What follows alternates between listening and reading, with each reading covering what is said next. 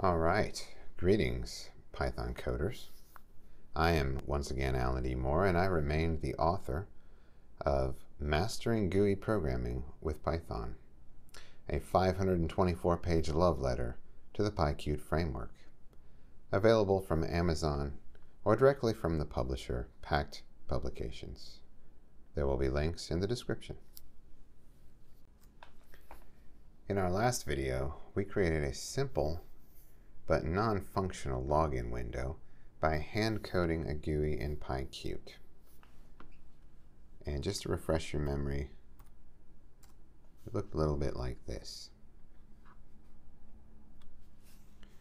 Type in the username, password is obscured, we have a cancel and a login button. In this video, we're going to talk about the mechanism that PyQt uses to actually connect your GUI back to functionality in your program, and it's called signals and slots. Before we do that, though, let's take a quick overview of what GUI programming is really all about. So I'm just going to open up a new window here, and I'm just going to type some pseudocode. So when you start programming and start doing your first Python scripts, um, you might be creating things like web scrapers or data processing routines or um, maybe a guessing game or something like that. So your programs usually start at the top and they proceed down through to the bottom. And along the way, you might have a loop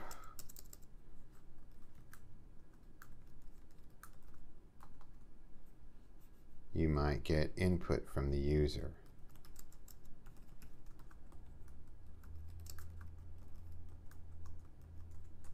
And then you might have conditions based on some of that input.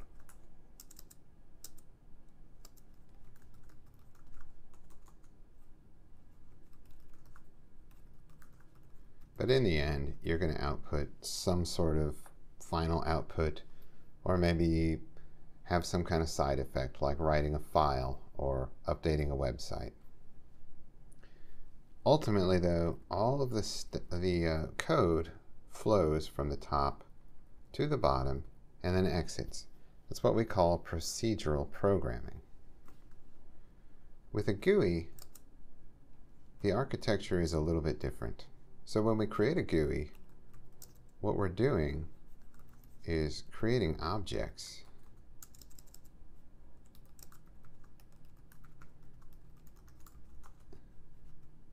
And within those objects, we're going to have widgets, right, like buttons. We may have uh, line edits.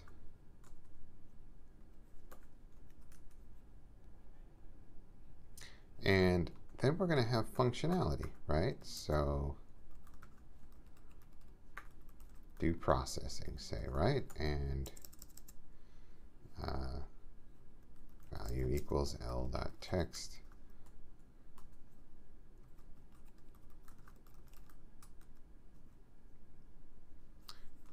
When we run our GUI, it's going to define these classes, and then we're going to have what we call an event loop, which is just an infinite loop that gets the next event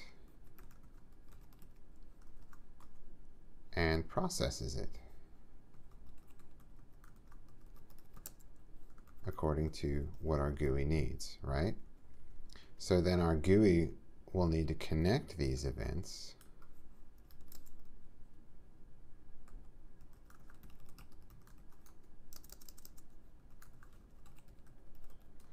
somehow our GUI will need to say, okay, when this button is clicked, we're going to do this processing. So a button being clicked is an example of an event. And that event would be registered in some kind of queue. And in the event loop, that queue will be processed. So the flow of a GUI application is do a whole bunch of setup of different objects, and then just enter this endless loop. And process that loop until the application is closed. So what every GUI framework you will ever work with has, first of all, it will have some way of launching an event loop. And in PyQt, we know that's when you run qapplication.exec. What it will also have is some way to connect events back to functionality. And in Qt, that is known as signals and slots. Okay, so now that we know the theory behind event-based programming, let's look at this signals and slots system that Qt uses to implement it. I'm here on the Qt website on in the documentation. This is the documentation for signals and slots. And uh, looking at this diagram, what you can see is that objects, any Q object, so that would include widgets, uh, data models, lots of other things. Almost everything in the Qt libraries are based around Q object. Q objects can have signals. Signals are things that are emitted in response to an event. Okay, so an event happens to an object. That object emits a signal. We can connect the signals to what's called a slot. And a slot is something that triggers some piece of functionality in a widget. To see what that means, I've moved over here to the abstract button documentation. This is the parent class of all buttons, including QPushButton, which we like to use a lot. And you can see that uh, I've scrolled down here to where the signals and slots are documented. So the signals here include clicked, pressed, released, and toggled. Those are all signals that buttons will emit in response to events. So clicked is when we, you know, just click on a button. Pressed is the initial click before we release. Release is when we release off of that button, off of that click. And then toggled is for buttons that can be either on or off. And that means that their state has changed. The slots include, uh, you know, we can click so we can chain one button click to another, uh, setting the checked state of a button, animating the click. Um, setting the icon size. So that's interesting. So these are all things that we could connect a signal of one object to on a button. Um, over here in the Q line edit, we see that there are signals for when the cursor changes its position, uh, when the user finishes editing, when input is rejected, return is pressed, selection changed, text changed, text edited. We also see that there are slots here for clearing the text widget, the copying, cutting, paste, redo, select all, setting the text, and undo. Uh, over here in QWidget, which is the base class of all widgets, we can scroll down and see it has many, many slots here. We have close, hide, lower, raise, repaint, all kinds of things that you could do. And Keep in mind, these slots are inherited by subclasses. So all our widgets derive from QWidget. So all widgets have got all these slots and these signals. All right, so I've got our login app here. And we're going to start making some connections between signals and slots. We're going to start with a very simple one. So we saw when we looked at the documentation that buttons have got a clicked signal. Okay, so we're going to connect our cancel button's clicked signal to our widget's close signal so that when the user cancels, the widget will close. The way we do that is we say cancel button dot clicked dot connect self that's our Q widget dot close okay so what this says is we get the signal, which is just a property of the widget, the cancel button widget, and we call its connect method, and we pass it the slot that we want to connect it to. In this case, self.close. All right, I'm going to save that. I'm going to go over here and we're going to run this. And now you'll see, okay, if I press the login button, nothing happens. If I press the cancel button, okay, the widget closes. Let's try that again. So if I hit the cancel button, again, we've hit that close slot and the widget closes. So in, in Qt, um, signals have to be connected to slots, and a slot is kind of a special thing. In PyQt, we can connect a signal to any Python callable. It does not have to be a special uh, Qt slot. It can be anything that we can run, a function, a class method, a built-in, a custom function that we define ourselves. So, for instance, we might want to define in this class, this login window class, an authenticate function or method. Okay.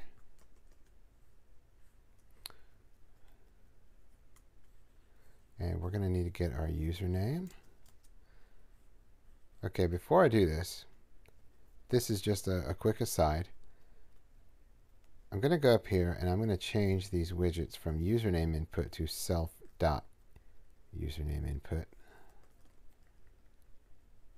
And that may confuse some of you because it may not be super obvious why sometimes we save things as instance properties like self dot whatever and why sometimes we don't.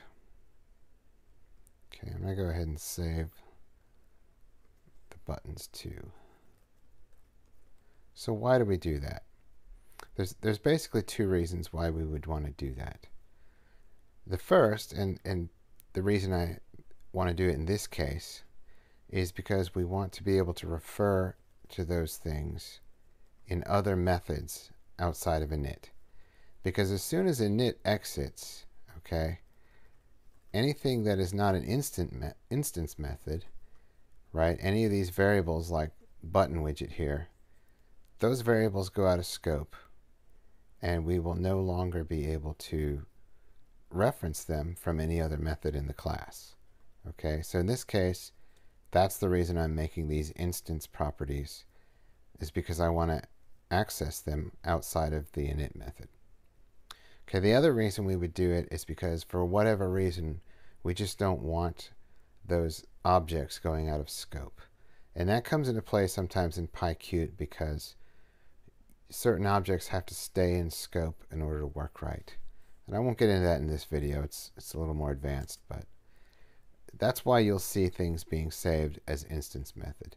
Stuff we don't need after a init is done, like these layouts and stuff, we can just leave those regular variables. They can go out of scope. It's fine. As long as they've been parented by a widget or a layout, they're not going to be deleted. They're going to stay around. Okay, so back to our callback here. We're going to say self.username input.text. Password is self.password input.text. And then we'll just make this real silly and pointless.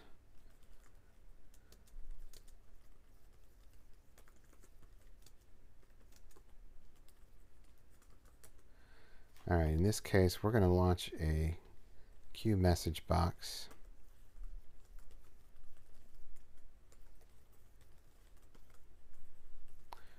Parent widget, the title, and the message. You are logged in. All right, else if they don't get the right password and username, we will tell them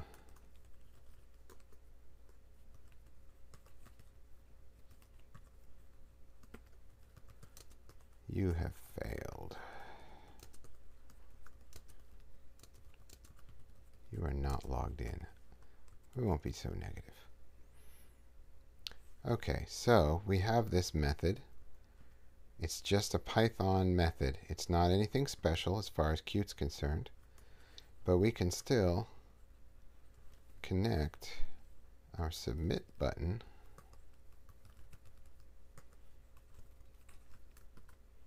to oops, self.authenticate.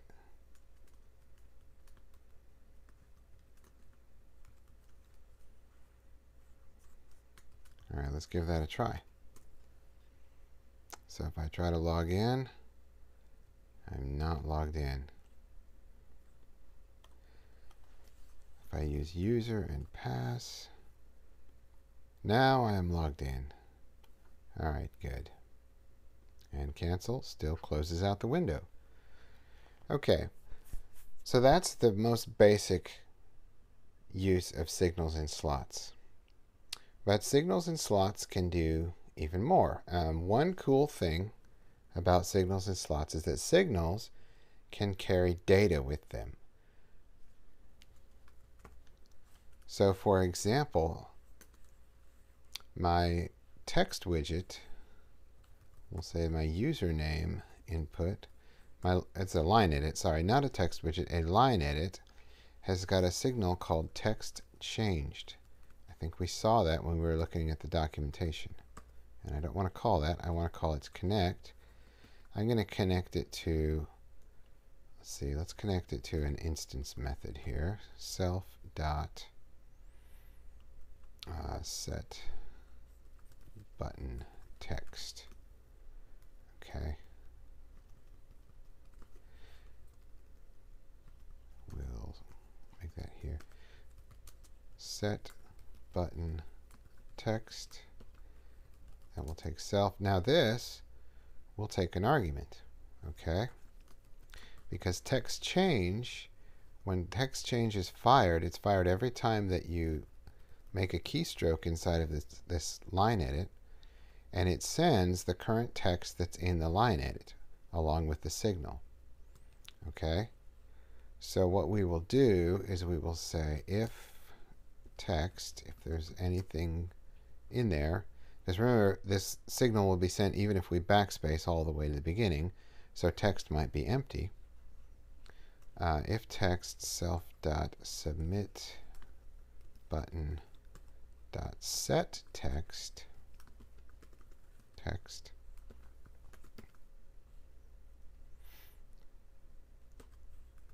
log in text. Okay, we'll use an F string there. Oops. Else, we'll just set it to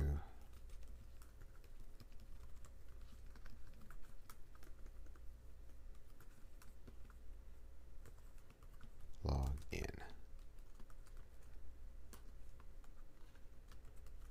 Okay, let's give that a try. All right, so now you notice this says login, and I guess I'm not going to be consistent here, but it's all right. So if I type user, it says login user. Remember, as I type in or backspace over each letter, it, it updates the button with every keystroke. Okay, and it will expand out that button.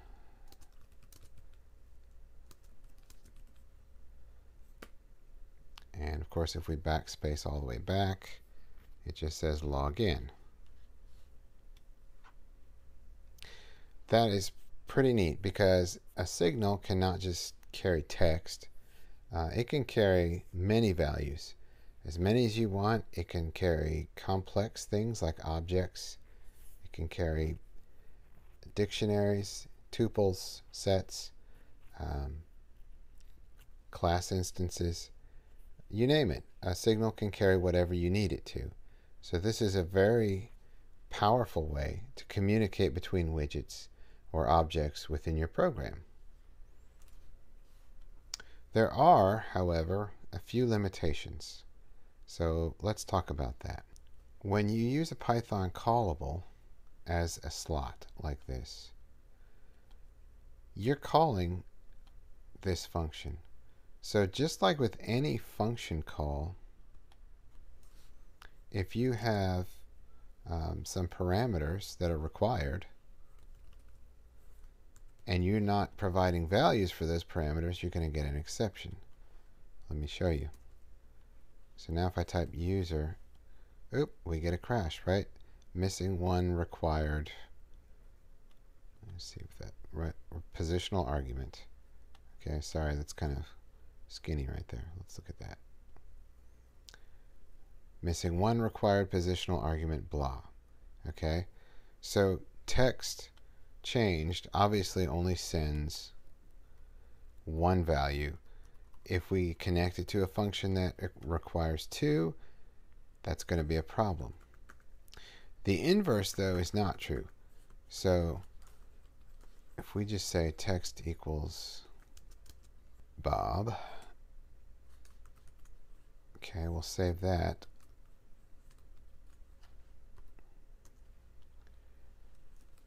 Okay, this time, no error. Okay, it just says Bob.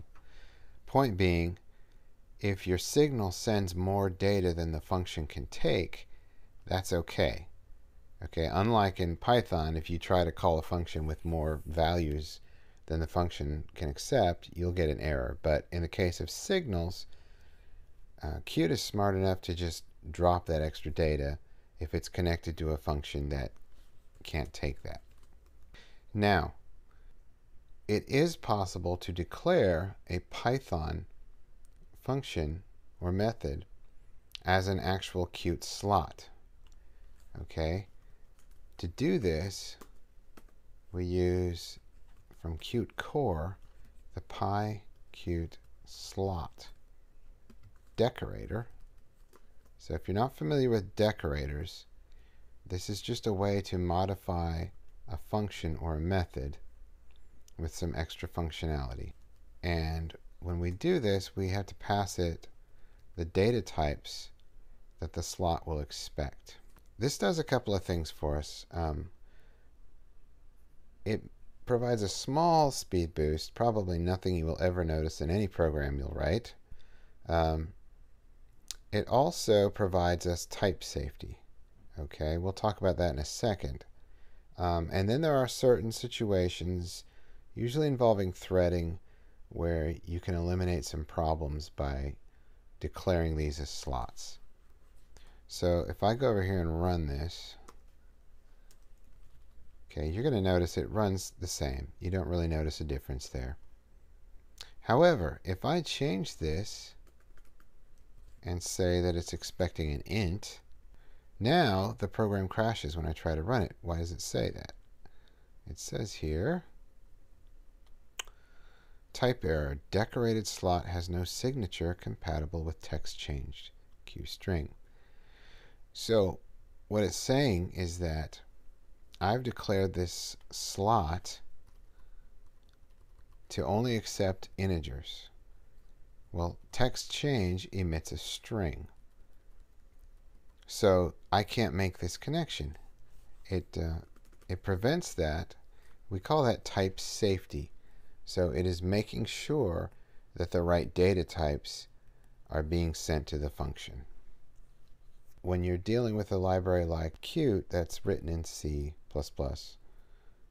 it's a good idea to kind of give yourself a little bit of help there. Um, so you can do this. It's really kind of optional, uh, except in certain situations. You make the call. Okay, the last thing we're going to do is we're going to create a custom signal. Okay, so we're not just limited to the built-in signals that widgets have. We can actually create our own. And this is something I like to do a lot when I'm creating, say, a dialog like this, or a login box, a configuration box, anything like that. So what we do is outside of init up here, we're going to define a signal called authenticated. And that signal is going to indicate that our user has successfully authenticated. To do that, we call PyQt signal from Qt core, and we have to provide for it the data types that will be sent with the signal, if any. So in this case, we will send the username who is authenticated, and we'll send that as a string.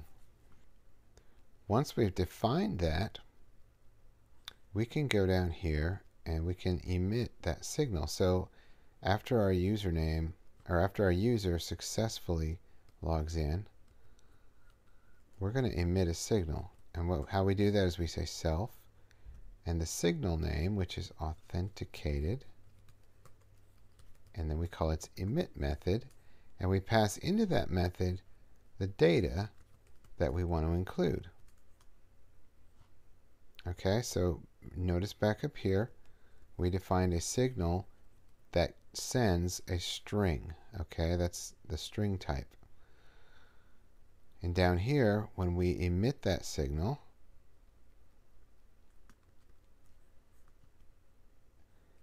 we send with it the username. Now, if you want to actually see that signal in action, we'll have to create another method. So let's let's create another method down here. Normally, you would connect this to a different object, but just for simplicity's sake, we're going to connect this here. And we'll just call this user logged in, pass in self, and pass in the username. And we'll just show another message box. Q message boxes are super convenient.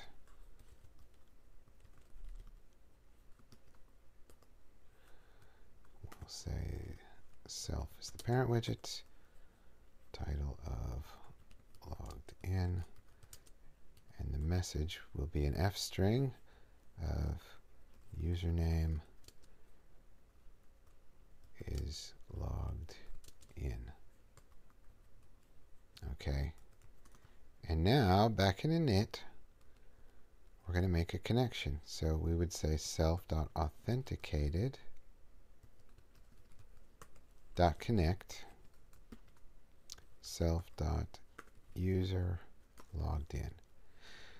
A uh, quick note, if you're not someone who is ever used to passing around functions or methods as objects, Notice here we are not calling this method. We don't have parentheses after it. Okay, same here, same here, same here. We are just referring to these functions and slots and methods by name. Okay, that's important. You don't want to call these methods because doing that would evaluate them to their return value. You want to refer to the methods as na by name. You're passing that method object to the connect method, all right? Hope that's not too confusing. Just remember, when you're connecting these slots, you don't actually put the parentheses after the slots to call them. All right, so let's try that. Let me go back to our shell here.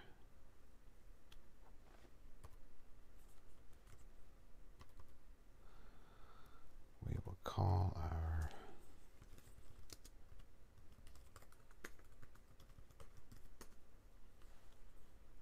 Okay, now we'll type user, pass, you are logged in, user is logged in. Okay, so that's our second um, signal, that authenticated signal calling that user logged in slot.